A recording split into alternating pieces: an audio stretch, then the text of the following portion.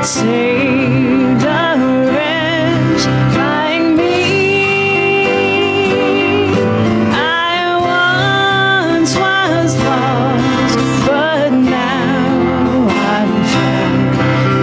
Was blind, but now I see. Grace taught my heart to.